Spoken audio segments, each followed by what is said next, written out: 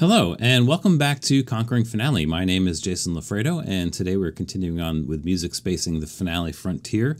We are really getting into the deep dark forest here with spacing widths today.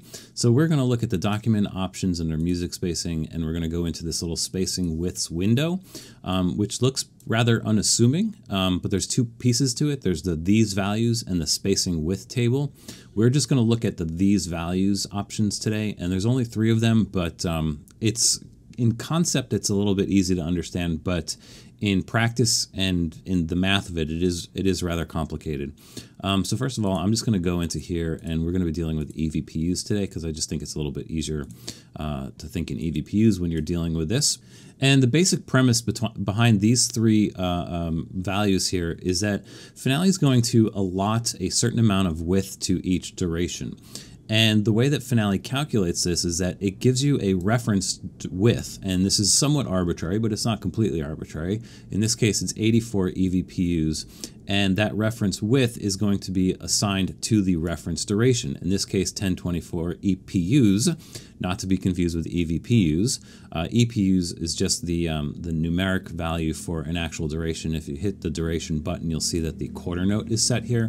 So 1024 EDUs is actually a quarter note.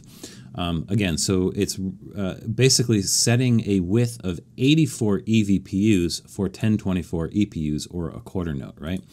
and then it's using the scaling factor to calculate the width of all the subsequent um, durations. And basically, the way it does this is that for every uh, duration that's double the reference duration, it's going to multiply the reference width by the scaling factor. So 1.6179 times 84 to give you your half note is uh, 136 uh, EVPUs for the duration of the half note. And it works the other way. If you go uh, back to eighth notes, it's basically dividing by 1.674. So you would get 52 EVPUs for your eighth note with this scaling factor of 1.6179.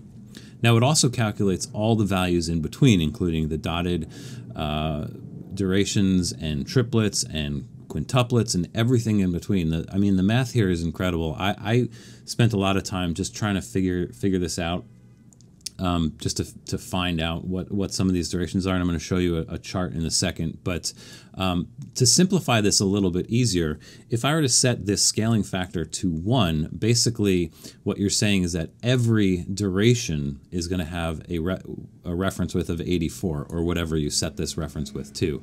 Again, because it's going to multiply 84 times 1 for the half note, it's going to divide 84 by 1 to get to the eighth note, and all your values are going to end up as 84.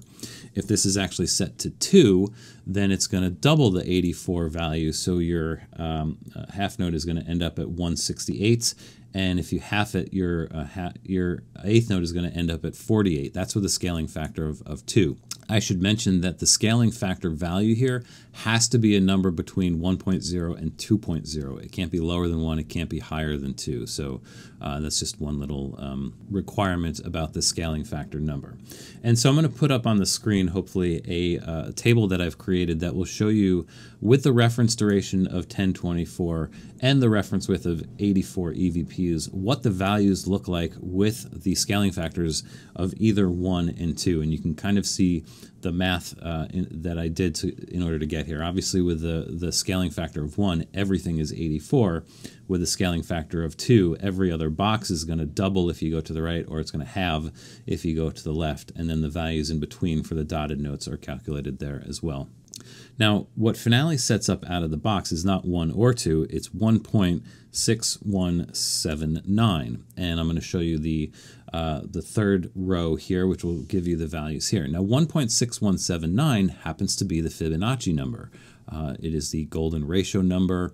Um, if it works in nature, then why not make it work in music? And it's sort of been determined, I think, by people much smarter than me that this value of 1.6179 sort of uh, presents a very pleasing spacing of the music. If you see my chart here, you'll notice that The half note is not double 84, but it's closer to um, you know two thirds more, I guess, or, or something like that. So uh, the half note would be 136, the quarter note would be 52, and I've calculated all the values going down to uh, 64th notes and all the way up to double whole notes and all of the dotted rhythms in between. And believe me when I tell you that. Um, the mental gymnastics I had to go through to actually get these numbers um, was was quite something.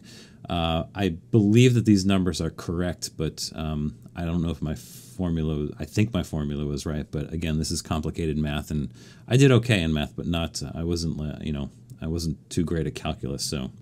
Anyway, for practical purpose, let's just see what happens. So again, with 1.6179, this is the type of music spacing that you get. But let's see what happens if we set a scaling factor of 1. And when we do that, like I said, all of the durations are going to be exactly the same width. So if I just um, music space and then check this out, you'll notice that you know your whole notes, your half notes, your quarter, eighths, and sixteenth, they all get the same amount of width. If you were to actually measure this um, from note to note, it would be exactly the same. It's 84 EVPUs between each single rhythmic value. So that's why you probably don't want to set it like this because this isn't exactly um, nice to look at. Uh, let's set it the other way. So let's go in here and set the scaling factor to 2. And again, what this is going to do is it's going to give um, each, um, the next larger, uh, or the next the next larger value, it's going to give twice as much space or half as much space if you go the other way, if that makes sense. So um, two half notes is going to equal exactly the same width as uh, a, a, whole note, and uh, your quarter notes are going to be exactly half the width of a half note, etc. Your sixteenths are half the width of a eighth note, etc. So this will give you very precise spacing in that regard. Um, and in fact, I believe the measure widths actually end up being very similar. They're not quite exactly the same, and there's a, a sort of a reason for that, which I'll explain in a minute. But um, ultimately, this will uh, create measures that are much more uniform in width. Um, but again, not all that pleasing. There's way too much space allotted for the whole note here, so it's not exactly ideal. Anyway, it has been sort of determined, I think, that 1.6179 is really kind of the, the best uh, starting place at least for this type of music spacing and you can see that essentially what it does is it, it provides you just a little bit less allotment for the larger durations than for the uh, smaller durations so that they're not so cramped and all that stuff. But you know the important thing to kind of know about this is that um, if you change the scaling factor number, if you make this smaller, uh, it will have the effect of evening out the distances across the durations. Obviously, if you put it at one, all the durations will be exactly equal. Um, and if you increase this number, you're going to have the effect of making the differences between the widths more noticeable. So you can do this to an effect. Like, you know, I wouldn't recommend going down all the way down to one or all the way up to one or all the way up to two, but if you set the scaling factor at say 1.4, um, you'll see that uh, you'll get a slightly different uh, situation where you know you're allotting a little bit more space for your 16th notes and your uh, whole notes and everything are getting a little bit less space, right? If you were to go the other way and set it closer to 1.8, you're going to sort of have the opposite effect uh, in that you know your your smaller values values are going to get much more compact uh, relative to your longer values. So again, I, you know, small adjustments I think can be made to this if you're not completely happy with the 1.6179 uh, scaling factor here. But uh, you know, like I said, use this um, uh, sparingly. I wouldn't go too far in either direction on this scaling factor number. So let's just go ahead and um, redo this so we go back to how it is set up normally. So what would be the effect if you left the scaling factor where it is, but you changed either the reference duration or reference width? Well, that's a good question. Let's start with the reference duration. Of course, we don't have to use the quarter note to be the duration that gets the uh, width of 84 EVPUs, right? We can change this to something different.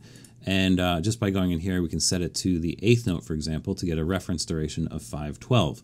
With a reference width of 84 and the scaling factor still at 1.6179, you can see in the next row, um, what you'll get is basically the same type of proportions, just everything shifts over to the left a little bit. So, you know, your eighth note will get a uh, 84, your quarter note will get 136, whereas before your uh, half note was getting 136. So the proportions remain the same, and actually, if you keep going to the right and keep going to the to the left, um, you'll see that the values are kind of just offset by two.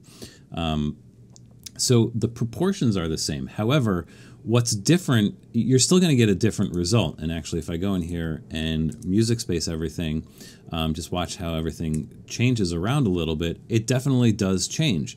And you might be confused by this because you're saying, well, the relationships between the durations are the same. Why would it actually change the spacing? Well, it gets a little complex here because when it adds the values, it's not only adding the value of the uh, durations themselves, but it's also taking into effect everything, including like the width, right? So the the the note heads themselves actually have a width. It's one space, which is about 24 EVPUs. There's also a width value at the beginning of the measure that's calculated. Um, and so when you're changing which note values have which um, widths, um, basically, if you you make the eighth note the uh, the reference value, then all of the durations become larger in width, and the those durational widths proportionally become bigger than the width of the uh, note heads, if that makes sense. So it's not exactly the same because you know you have to add if your eighth note um, EVPU width is 84, you have to consider 84 plus 24, right? And 84 plus 24 is going to be different than uh, say 52 and 24, which is how it would be if the quarter note was uh, the reference duration. Does that make sense? So there are some fixed width values that are calculated in this, and because um, those those widths are fixed, you can't you're not actually changing the proportion of the width of the um, uh, the note head, for example. Uh, it, it, kind of changes the math and it, it, produces different results in terms of the full um, width of the measure. And as we know, when you know when finale calculates this width, it kind of has to force justify, and then it assigns sort of a percentage to each one of these measures, and so it gets to a different value. So if I just undo this again, you'll see that it will go back to um, the way it was. So it gets a little complicated, but there are sort of fixed width items that are also calculated here, and especially when you get into things like uh, adding accidentals, you know, the accidentals have a width. There's a width between the accidental and the note head. The note head itself has a width. So it's not like the um, uh, you know, the durational width between the first note and the second note is fixed in every measure. It's, it's going to be different uh, depending on what's there. There could be accidentals, there could be seconds involved, there could be um, lyrics or chords. So all of this stuff is factored in, and most everything uh, is a fixed value except the duration. So that's why changing the uh, the reference duration is not uh, going to give you precisely the same result if you don't change the scaling factor or the reference width, right? Is that kind of uh, clear as mud? It works the other way too. You know, if you were to set the, the reference duration to half notes, um, you'll see in the fifth row, I believe, I have the um, the reference uh, duration there boxed uh, where the half note column is, and that's set to 84. Um, and again, the proportions going left and right in that chart are still the same, but because of all of those uh, fixed width values, um, the proportions change uh, immensely, right? Now the 24 um, EVPU width of the uh, note head itself is much less proportionally to um, the value of the, or actually it's much more proportionally in value to the, um, the, the 16th note durational width, if that makes sense. The thing that's sort of ultimately useful to know about this is that if you change the reference duration to be a larger value, in this case I have it set to the half note value, um, essentially you're going to spread out your, your shorter durations a little bit more, just like you just saw.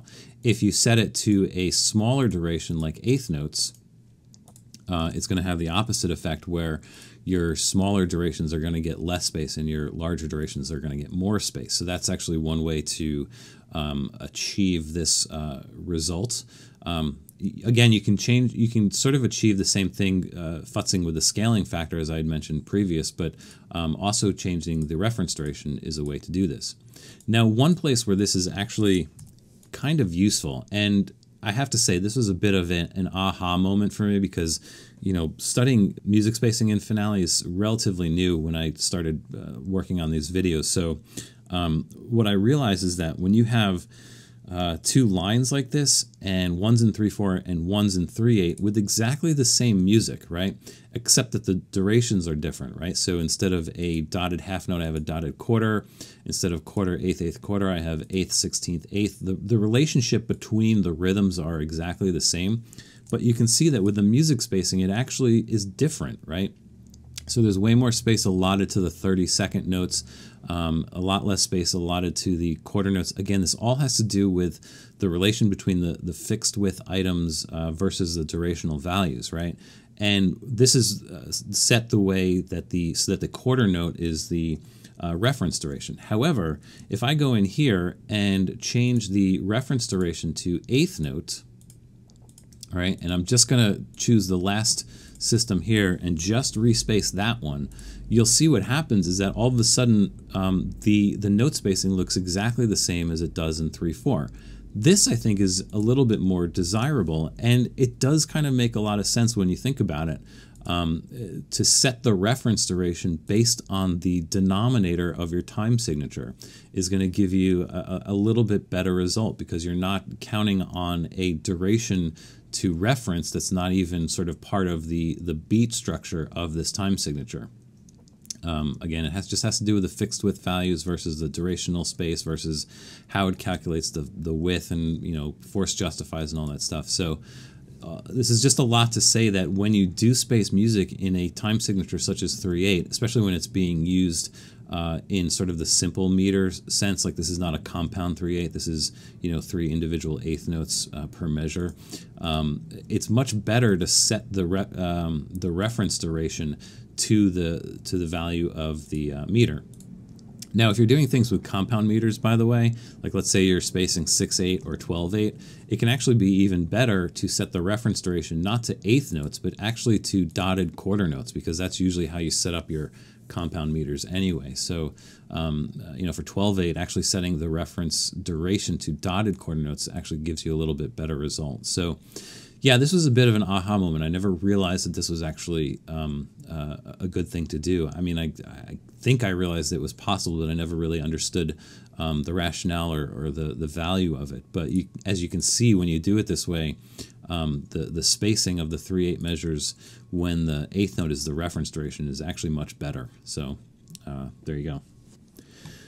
Now let's say we want to uh, go into the spacing width again. Let's actually set this back to quarter notes. Let's go ahead and do this. Let's just reset everything back to normal, uh, respace. Let's go over to my other uh, systems here. The other thing we can change in the spacing widths, uh, these values option is the reference width. So if we leave the scaling factor and we leave the reference duration, what happens if we change the reference width? Well, I'm going to put up two more uh, rows to this uh, chart here. I'm going to show you what happens if you double the reference width to 168 or half it to 42.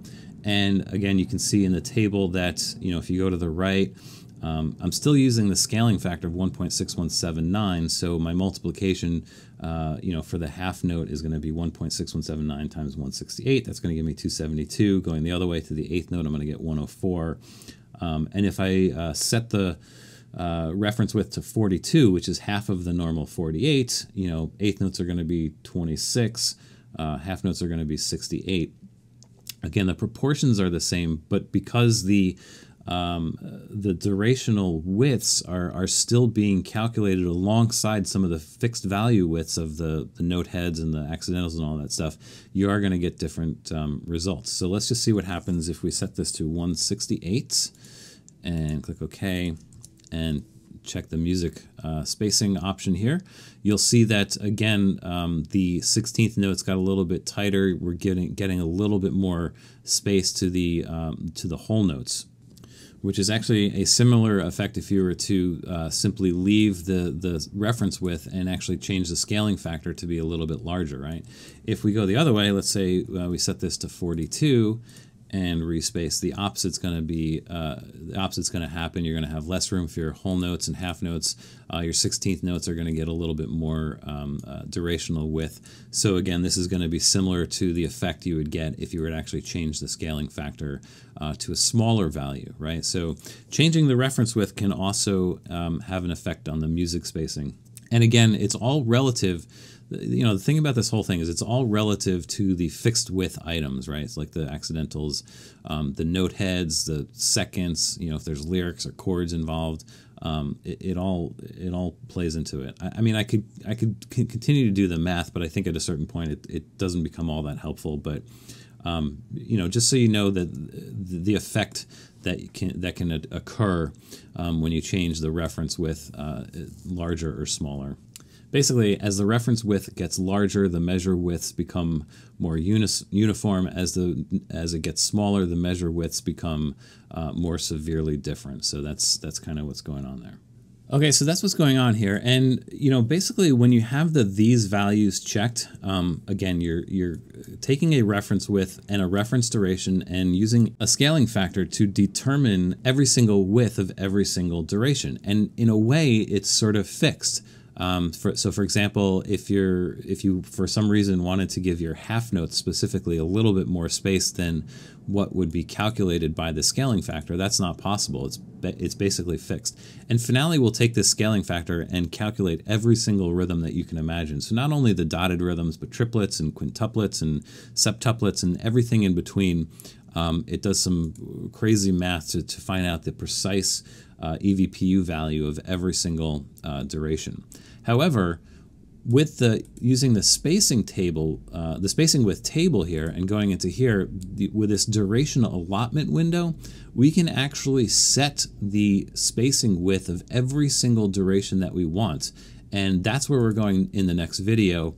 Um, it gets super super complicated, but this will allow you to actually change the uh, scaling factor in a way as you get into different durations. So if you wanted the scaling factor to sort of decrease as you went to higher durations, but but increase as you went to shorter durations, um, you could actually use a spacing width table to do that. And as complicated as the math is for these values, um, it gets super complicated for the spacing width table. So that's what's on deck next. Um, I hope you can you can join me for that, and we're going to have an interesting look at uh, what's in the spacing width table um, uh, option here for the spacing allotments. So, all right. Um, hopefully that helps. Uh, hopefully you've followed all of this. Uh, it was it's a little bit tricky to understand. Um, it took me a while to wrap my head around this stuff.